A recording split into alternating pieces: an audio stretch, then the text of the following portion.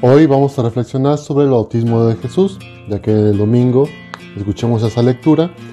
Y quiero tomar una idea de un teólogo que varios saben, que me gusta mucho su reflexión, José Antonio Pagola, que dice lo siguiente, escuchemos con atención, no pocos cristianos practicantes entienden su fe solo como una obligación.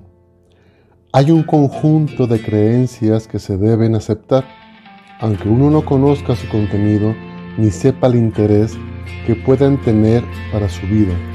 Hay también un código de leyes que se deben observar, aunque uno no entienda bien tanta exigencia de Dios. Hay por último unas prácticas religiosas que se deben cumplir, aunque sea de manera rutinaria. ¿Cuántos cristianos, cuántos católicos seguimos una religión así, de cumplimiento nada más? ¿Cuántos de nosotros hemos entendido que para salvarnos tenemos que seguir una serie de normas y prácticas y de lo contrario no podremos salvarnos? ¿Cuántos de nosotros hemos entendido quizás entonces que la religión debe ser así? Solamente un conjunto de normas y leyes que tenemos que seguir. Hoy que reflexionamos el bautismo de Jesús en Marcos, Jesús no se bautiza por obligación, Jesús se bautiza como ese signo de adherencia al ser humano, como ese signo de decir, en la práctica religiosa lo importante es tener una misión. Y en esa misión que tú y yo vamos entendiendo, este, va creciendo mi vocación. Jesús no se bautiza por cumplir un rito. Jesús se bautiza para iniciar su misión.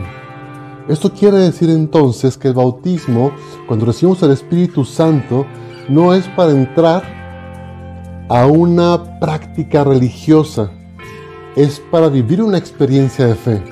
Si no entendemos esto, entonces la religión se vuelve monótona y se vuelve solamente un requisito para salvarme. La religión debe partir de una experiencia profunda del, amor que Dios me regala y, en esa dinámica del amor entonces tenemos que trascender y, estar conscientes, tú y yo, de que tenemos una vocación de vida. Insisto, Jesucristo, aunque parezca loco y que muchos a lo mejor se pueden escandalizar, Jesucristo nunca planeó una religión. En los evangelios vemos que lo que propone Él es un estilo de vida. Y en ese estilo de vida nos invita a vivir en la salvación. Nos invita entonces a creer en un Dios que es Padre, un Dios que me ama y un Dios que se, entrega todos los días por mí. En esa dinámica del amor entonces entendemos que, que ser cristiano no, no es un cumplimiento, es una necesidad para vivir, es un estilo de vida. Entonces los sacramentos se vuelven con ese, en ese pensamiento de, de leyes y normas, se vuelven solamente un rito social que debo cumplir. El bautismo, la confirmación, la primera comunión, etc. Hasta el matrimonio. Y no como una vocación, una forma de vivir la vida y de ser felices.